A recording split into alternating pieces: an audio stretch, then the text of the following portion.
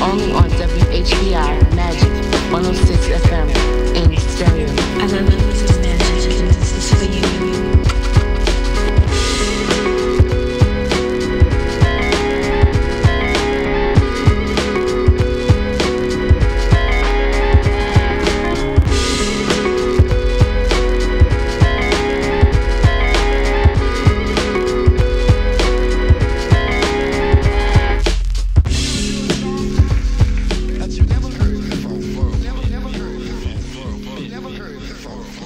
never, never heard it before.